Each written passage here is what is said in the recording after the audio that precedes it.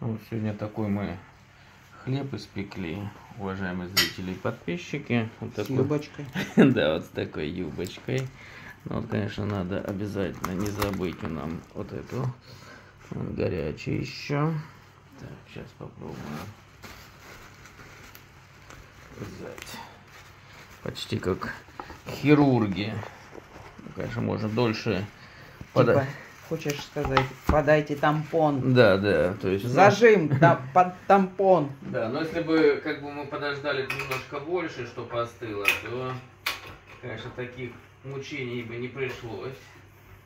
У нас Ну. вообще, Олег, с тобой очень богатая фантазия вот в плане слов. Мы же с тобой с текстами с иностранными работаем, и там приходится постоянно мозг напрягать, чтобы подбирать слова. И вот мы даже видео, когда записываем, у нас масса всяких терминов в голову лезет, сравнений и слов из любых отраслей науки и техники. Поэтому ты сказал хирург, а я тебе сразу по вот этой твоей салфетке тампон зажим. Так, сегодня у нас мука Макфа общего назначения или высшего сорта. То есть не итальянская, не это. Ну, конечно, Так, ты это, на столе тут осторожно. да, вот демонстрирую. Достаточно для демонстрации, а то завалится стол, который ты уже и так расшатал. Да, Мне я... хотелось бы, как узбеки, сидеть на полу. Так, ну им там комфортней. Ну вот Ну, такая, вы знаете, да, ну это также и традиционная мука Макфа. Как бы, ну мы сделали такой мини хлеб. Не Это знаю, из-за чего? Из-за диеты. Ну да, как бы. Ну вот если посмотрите качество, здесь использовались итальянские дрожжи, то есть как обычно. Э, Масло не использовалось, только это такой фитнес-хлеб. Почему масло? Ну, здесь у нас еще вот такой есть салат. Сейчас вам покажу.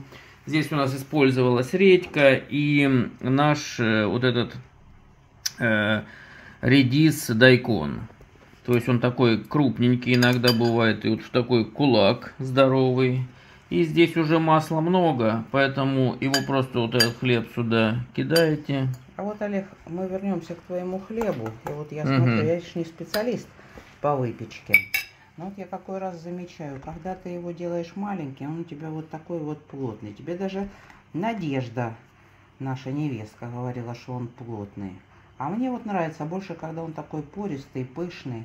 Но, с другой стороны, в этом хлебе использовалось, э, э, этот хлеб имеет 80% гидратацию, то есть водонасыщение.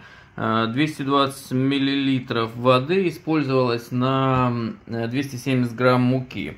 На самом деле, обычно, когда я использую 80% воды, довольно поры большеватые. Ну, а здесь вот макфа. Ну, как правило, э, как бы... м, Не, ну, Когда слушай, мука когда менее э, маленький делаешь, у тебя все время он такой плотный получается. У тебя именно на э, нормальном этом, на нормальной буханке, которую ты делаешь не уменьшая. Ты же эту уменьшенную версию делаешь? Да, это уменьшенная версия, но здесь мука как бы не лучшая, можно сказать, а такая вот общего пользования. Ну, я бы не сказал, что сейчас попробуем, тогда вот можем оценить, потому Ну, что пробуй давай.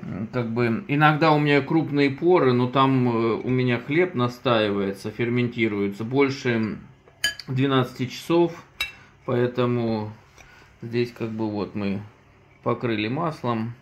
Ну, Могу тебе дать вот этот маленький кусочек. Хочешь задобрить? Да. Я могу покрупнее взять.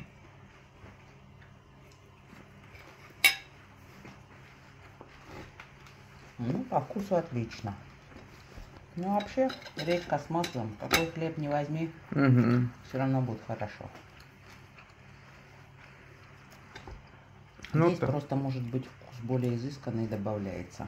Ну да, вот то есть вот такой у нас маленький перекус на ланч. И что интересно, мы использовали здесь подсолнечное масло, вот видите, довольно много. Поэтому еще его в хлеб класть нет смысла. И теперь оно вкусное, туда макаешь хлеб и наслаждаешься. Вот такой у нас сегодня мини-обед. Ну, еще ж колбаса будет. Ну, А то- колбаса можно было и не Не, показывать. ну а ты говоришь хлеб и редька. Люди скажут, вот какие эти за здоровый образ жизни. А у нас еще колбаса будет. Да, веганы, веганы. Мгм. Ну все, Хотел скрыть, но я его поймала. Да, ну приятного аппетита.